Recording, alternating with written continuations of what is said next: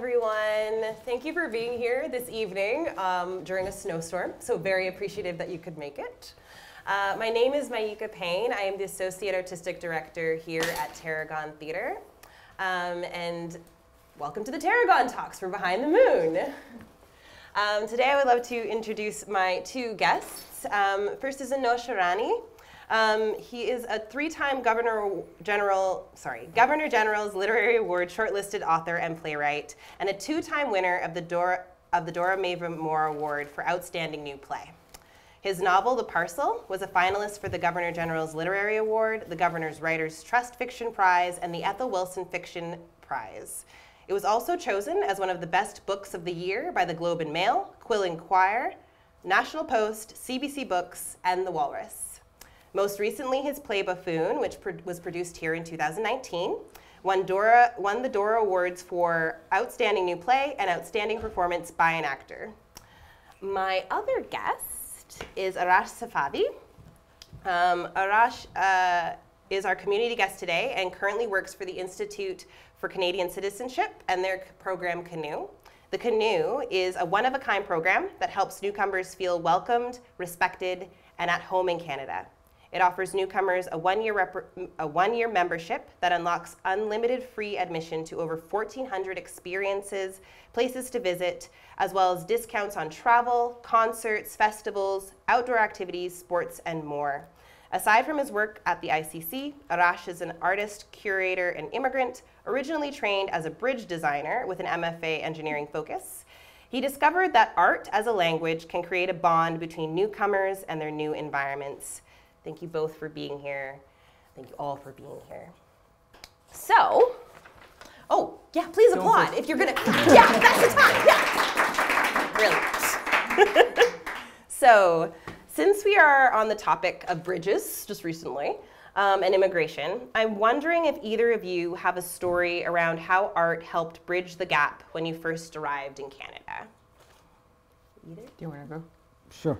Um, so I moved. I moved to Canada in 1998 from Bombay. I um, previously had worked as an advertising copywriter uh, for about a year, but I had this, you know, desire to tell stories. I come from a family of storytellers. It was just a lot of mime and dancing and and, and storytelling, and and I think that was in a way some sort of um, training yeah. for for theater. You have to know how to hold an audience. And and so there was always this need in me to to tell stories uh, but i chose to do it through through the written word. And and that's the reason i moved to canada in 1998 i went to the university of british columbia uh, to study creative writing. So i did my bfa and my mfa there.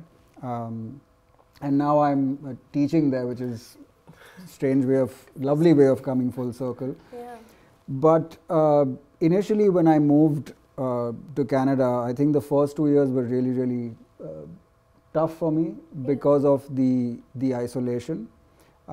You know, coming from India, life is lived on the streets, so to speak. You know, everything spills out onto the streets. Uh, there's there's music, there's dance, there's food. Every you do everything outside, and um, life goes on you know, way past midnight into the early hours of the morning. So for me, when it got dark here by 4 p.m., um, it was uh, confusing, disorienting, and, and also the, the inability because of the, the weather, as you can see, you know, on this beautiful spring evening. Uh, it, it, it's hard to really be outside. Every, the, the body language makes you do this and, and makes you want to stay, stay indoors. Uh, but that ended up being a, a, sort of gift for me because I just focused on the writing and the reading. That's that's all I did. I literally for those first two or three years, that's I would read every single day, write every single day. But coming to that moment, which was a defining moment for me, was when I started working at the Arts Club Theatre Company in Vancouver as um, and uh, artistic. I was the I was an in summer intern to the artistic director, and, and that was a great great moment for me because I didn't even they I didn't even have an office. I was in the green room, so I'd be sitting with the actors sometimes, just in a corner somewhere reading scripts and making notes. But that was the first time I felt at home, and I found home through theater, and I and I always say this that th- that was my first Canadian experience. You know what what did Canada do for me? That was what it did for me. It it connected me to uh, a theater company, and through that I found uh, a family, and and I'm in touch with them even today, 25 or so years later. Still talking. Arash, I, I will forward this question also to you now. Um, how did you find community Um, so, uh, you know, there's a joke about that. Immigrant parents always wants their child to be a lawyer, doctor, and engineer, but it's not my case. I, as a child, I always watching a documentary about bridge and mega structures, and I grew up with that, and I choose to be a, a bridge designer because I wanted to uh, design bridges to connect to people and places. And I love the whole notion of connecting to people and places. And when I moved here in 2016, I was I was feeling a gap between myself and uh, places, people. I didn't know many people. I didn't know many places. I can't just walk and uh, to random places. And I so I uh, picked up my camera and just went and shoot some uh, photos from people from uh, uh, different places and it filled that gap it connects me to people it connects me to places and i was saying to myself okay i'm getting connected to people and places but my camera with my pictures and with my art. Maybe that's the bridge i was looking my whole life is in a not literal way in another way. And i was saying that okay let's pursue that one. And then went and follow a master of fine art try to connect to more people and still to today uh, being here it's a through that photos through the communication through that that connecting me to you here and i think it's the same for the immigrant as well they are being connecting by the other thing art uh, getting to know creating memories through the art experiences and that's the bridge that's the bond that we want to create uh, to this new home for them Right. Yeah. To find something that connects you to the place. And so when you were taking those images, were there a lot of areas that you were taking images in that felt th- more connected to? Yeah. Or? Um, so um, I'm a very visual person. I, I, I don't. I'm not good with the names or numbers, but I'm very good with the visually seeing someone. I can't forget something that I'm seeing, and the photos are tools for me to connect to those places and create a bond to that place. Oh, I've been here. I took a photo of that. And I was uh, I was going to a Starbucks, to different coffee shop, and I asking people, "Can I take a photo of you?" And I start talking through those photos. It was a tools for me to get to know people, to practice the languages, and I create the bond and connection. And that then I feel I felt less and less uh, isolation from the people and places. So, so much like how Anosh, you were finding yourself in rehearsal rooms and, and greeting people, you were finding yourself in communities of taking pictures of people and creating the connection that way. And so, both ways of bridging, bridging into finding community, um, really through art. So, when you both arrived. Um, was it easy to find community outside of art? Like, uh, yes, art was one of the big bridging points, but was there other ways that you were able to find community outside of that? Uh, for myself, uh, finding an opportunities to involve in the community is a, for myself was volunteer work. I've seen so I find so many friends through the volunteer work, and uh, maybe getting to know other people is uh, one of the activities that connect me, and it's also part of the the reason I'm part of this Institute for Canadian Citizenship and what they are making through Canoo is to provide opportunities for people to experience uh, different venues, going to see different art show, uh, galleries, museum, and uh, to experience what we have here, uh, know Canadian culture, know more about Indigenous people, and try to feel connected to the land, feel connected to people, and the overall everything we are experiencing here as a Canadian. I think that helps. I think in my case, you know, when you're a writer, you kind of naturally tend to find isolation. I think that you have to train yourself to be on your own. Yeah. and uh, my life here was very different compared to what I experienced growing up in Bombay. You know, large. I'm an only child, but you know, lots of extended family, cousins, uncles, granduncles, friends, and and I, I think in a way I stopped looking because I just said I have to accept what I'm feeling right now mm-hmm. and focus on the work. I was, you know, more focused on how do I become a better writer. I was, I just wanted to read everything that I could possibly read, mm. um, and again, being okay with being on my, on my own. I'm, I'm not a very social person at times, so you, you know, it, it, it's good for me to go out there and find community, but I didn't do it because because as a, as a, you know as a writer you you have to you have to be strong enough to say you, you have to be able to s- sit with your own pain yeah. and and the pain of your characters. I, I think if you don't know how to sit in a room alone and once the, the terror leaves, that's when you start finding truth, right? Yeah. If, you're, if you're constantly trying to evade that moment where you feel uncomfortable, I don't think you can write. And uh, community is a great thing, but it, it, it's also a healing thing.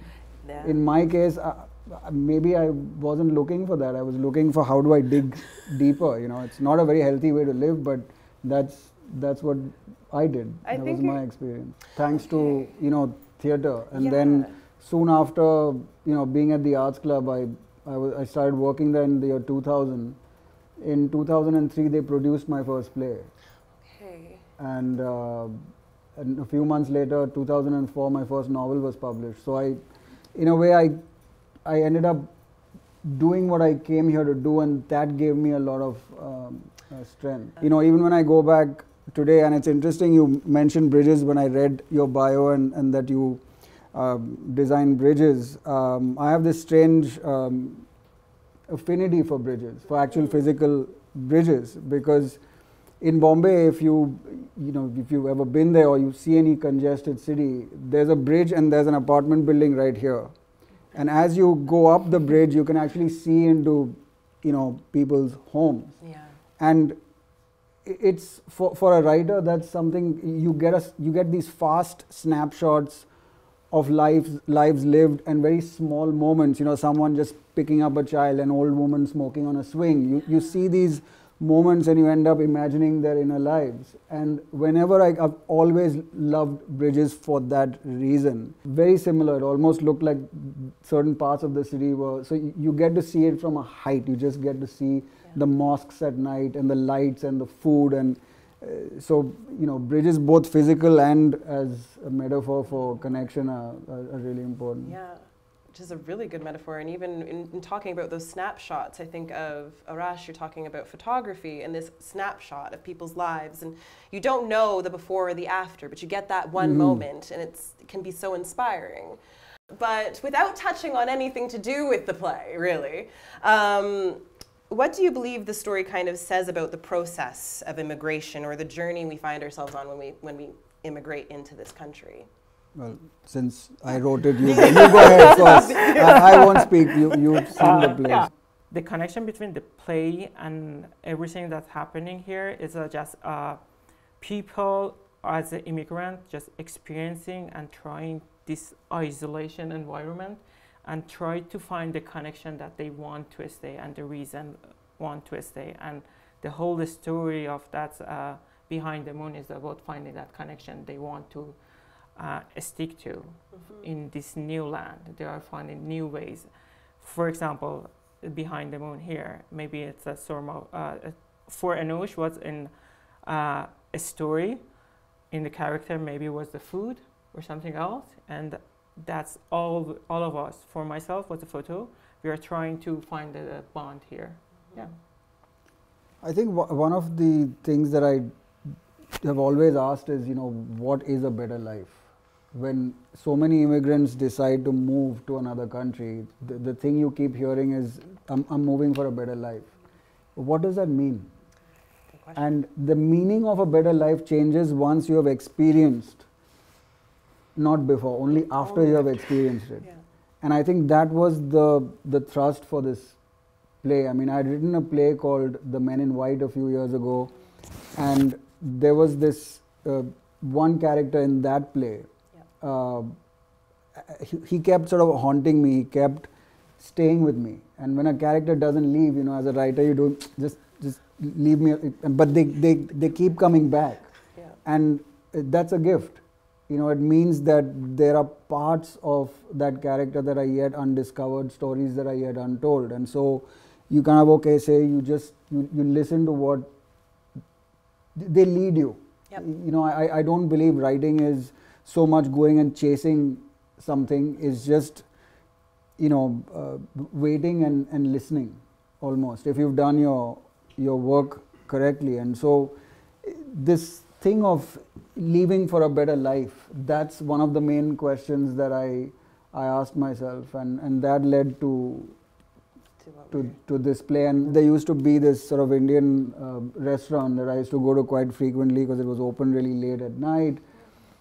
And uh, that's the place that I said okay I, I want to set a place uh, a play here. Mhm. and I would go there and eat and just make notes and, and I slowly started imagining this character working in in this play uh, in this place in the place. and, and and so you know physically the environment tells you so much about the story you know characters interacting with a particular place that leads to a certain chemistry Yep.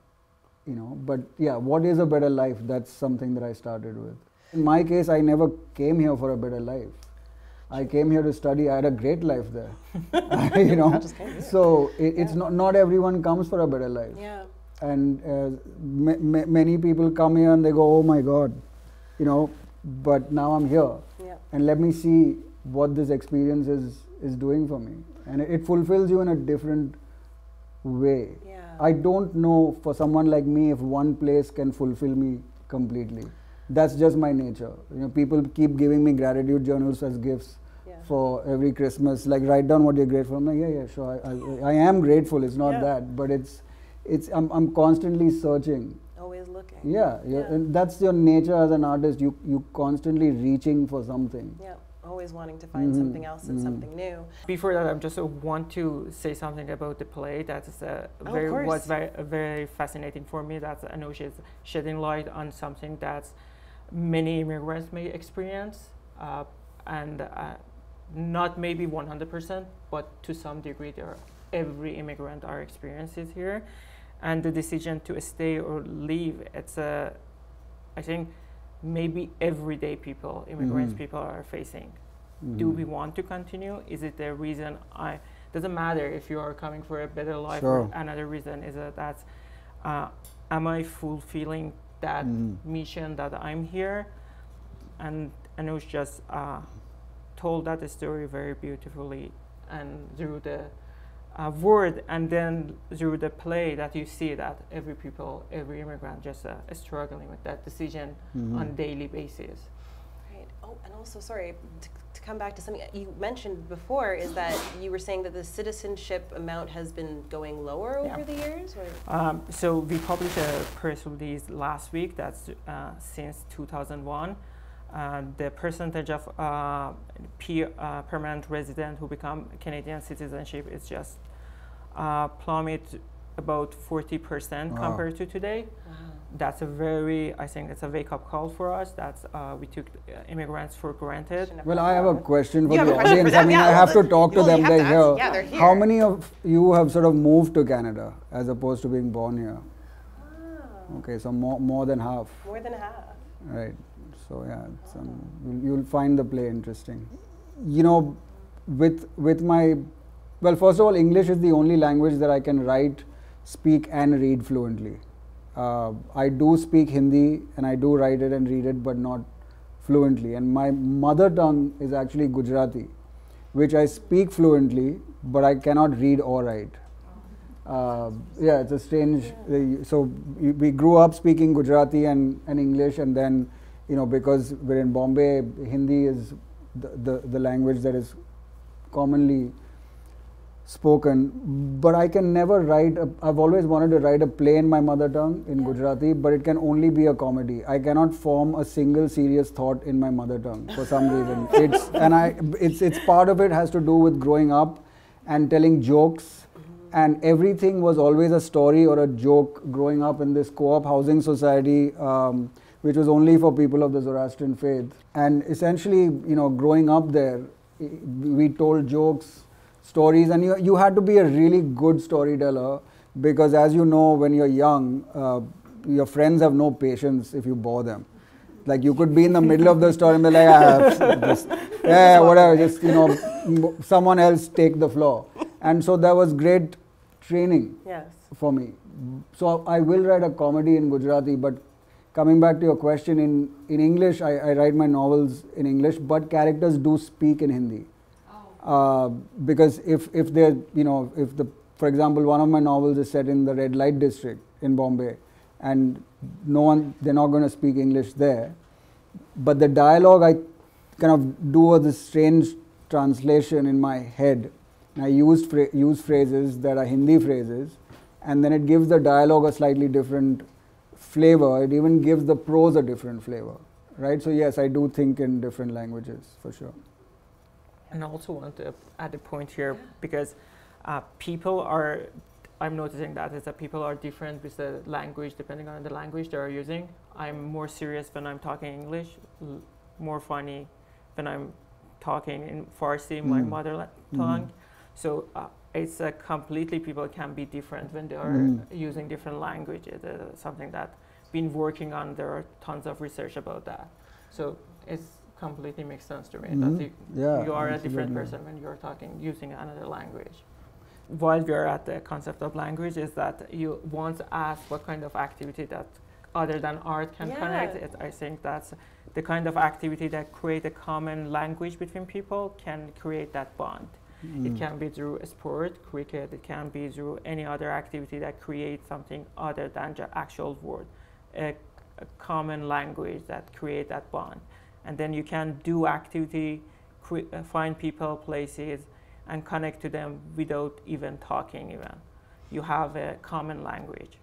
That kind of activity that can create that bond. Yeah. yeah. Oh, I agree with that because I think if it's just something where you can just be in the same room, like I think of dancing when I think of mm. that because I feel like you can mm. dance with somebody who never speaks the same language of you and still have such beautiful language on the floor. And mm. I think mm-hmm. that's it's a really beautiful way to look at that. Yeah, just, it's just a different form of language, really. And music and dance have the ability to reach you instantly. Yes. Right. Yeah. It, it it takes literally s- seconds for something to to elevate you. Yeah. And whereas you know literature is different. Like if you're reading a novel, you you have access to someone's consciousness. Mm-hmm. And it's a dangerous thing, but you also have to be responsible because whether you realize it or not, you're actually creating a dent in the when people are reading books they are being changed hopefully. Hopefully you yes. know uh, but music and dance does something for the spirit. Yeah this does something for the yeah. Yeah. And for the spirit hopefully and for this yes. I mean theater is you know great meeting place we for it does all of that. those yeah. things. It's yeah. the goal. Okay so i had one more question here on my page. Um, so when coming here um, did you find a sense of brotherhood or family with others only because they came from the same place? Um, was there an instance where people came from the same place in your, in your, both in your lives, but were not necessarily welcoming? About the first part, definitely 100%. Uh, there is something about nostalgia that we always romanticize in what's happened in the home, in the, uh, in the history. It's uh, about home. And when you are seeing people that comes from the same place, speaking the same languages, you are, you are by default are creating a common memories. You are just, oh, do you know about that place? Have you experienced this city? Have you been there? This kind of experience, and you create a community within the community with the people closer to you. And yeah, 100% you are finding a, that relation. So you yeah. find the community from else, like, so the community from where you come from, finding that same community here really yeah. has been quite welcoming. Yeah. And and the brotherhood, yeah. I, I, had a mix of both, to be honest. I mean, I was lucky that I already knew a few people who were from India and who had moved here, and then I, I met people who were from Bombay, and, and sure it helps, but I think through theatre, I really found people who um, were born born here mm-hmm. and were not Indian. Right. You know, and, and I enjoyed I enjoyed that because through theatre you end up discussing so much that is personal, right? Especially when you're in a workshop, you're in a rehearsal room, you suddenly end up discovering so much more about the actors because someone will start telling you a story. Yeah. You know, and that's where you become really, really close. So I had a combination of of both. I'm I'm lucky in that sense. Yeah. Oh. Um, and so I identify with that with the idea of having those extra conversations in a room. Um, and also identify with that where you have people who come from the same place as you and just finding that camaraderie within the, the, nostal- the nostalgia of the place is really important. And so it's the bonds that we have that we come from, but also the bonds that we create when we get here and how we deepen those while we're here as well, I think, which is really important. What's the meaning behind the imagery and the name of the play? Well, I can't tell you that because you're going to see the play tonight. Are you going to see the play? Yeah. Okay, well, you'll. Yeah, yeah you'll. spoiler. you, uh, well, not, but it's it's better for you to experience the the play, uh, and you'll you'll discover for yourself. Yeah, yeah.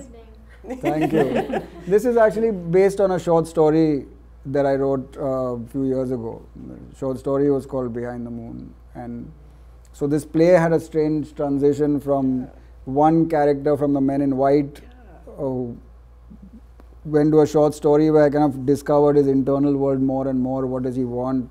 What does he dream of? Why why is he still talking to me? You know, what does he want me to reveal? Like, what do you want? That's the first question you like ask a, a character. You know, it's fine. You're you're telling me a story, but why, and why now?